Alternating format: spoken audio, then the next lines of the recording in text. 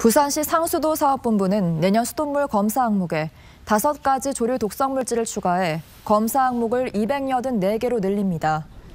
추가 항목은 마이크로시스틴 LF와 노들라린, 신경독소인 BMAA 등입니다. 수돗물 취수 원수의 검사 항목도 261가지에서 266가지로 늘릴 예정입니다. 이는 올여름 낙동강에 녹조가 대량으로 발생하면서 수돗물 안전성 강화에 대한 필요성이 높아졌기 때문입니다.